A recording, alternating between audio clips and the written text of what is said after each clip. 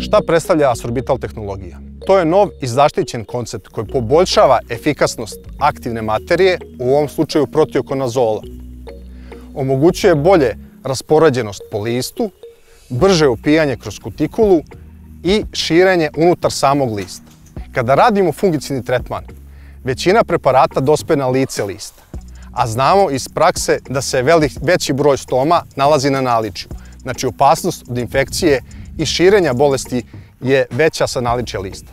Zato je bitno da preparat brzo prođe kroz kutikulu i rasporedi se unutar samog lista.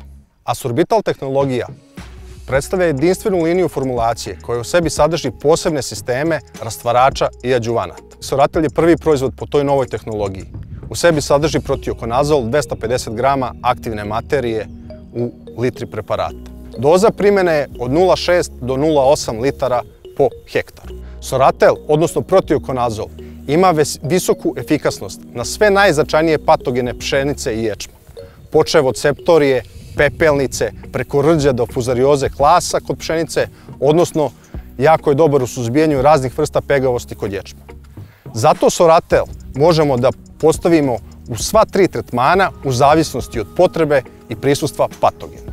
Zašto proizvođači da koriste Soratel? Pored visoke efikasnosti, govorili smo i o novoj tehnologiji. Šta to konkretno znači?